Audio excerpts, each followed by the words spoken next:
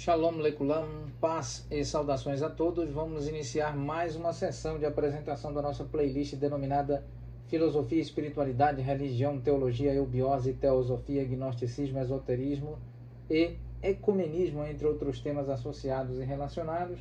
Nesta sessão em particular estaremos apresentando aqui o livro uh, que compõe uma coleção denominada Hamishah Humishei Torah, é, recordando, destacando que o hebraico é lido e escrito da direita para a esquerda, o hebraico aramaico, então nós temos aqui Hamishah, Humishei, Torá, o Pentateuco, os cinco livros da Torá, neste caso em particular o primeiro livro da Torá, Bereshit, ou seja, em, conhecido no latim como Gênesis.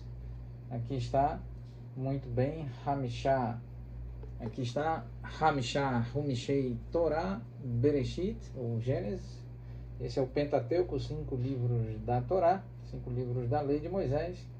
Muito bem, agradecemos a atenção de todos vós. Em breve estaremos apresentando outros importantes conteúdos. Tudara Báculo Carle muito, muito grato pelo senso de deferência e pelo prestígio concedido por todos vós ao nosso modesto trabalho. Muito obrigado a todos.